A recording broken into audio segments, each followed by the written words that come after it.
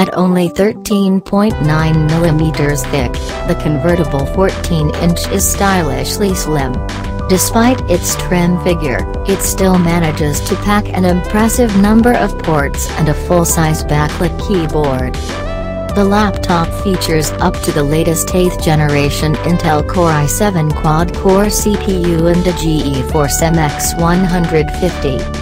It comes with the Asus Pen, an active stylus with 1024 pressure levels, and has fast charge technology that, according to Asus, can recharge the laptop up to 60% capacity in 49 minutes.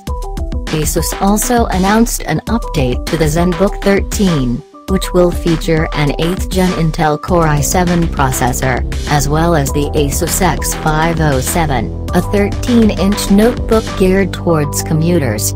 Pricing and availability have yet to be announced for both.